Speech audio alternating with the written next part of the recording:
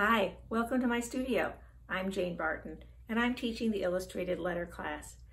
I started teaching this class this past year when I realized I was tired of just getting emails and texts from friends and loved ones and coworkers.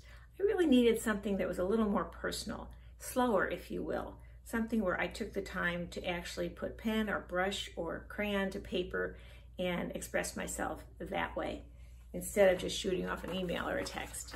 So I started doing illustrated letters and I started teaching others how to do these too. It's really a lost art. Artists have been doing illustrated letters for years and they're fun to look up and maybe someday people will be looking at yours.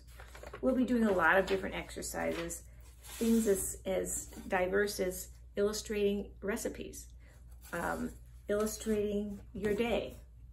And these will be um, something that you can keep forever or send to people that you love.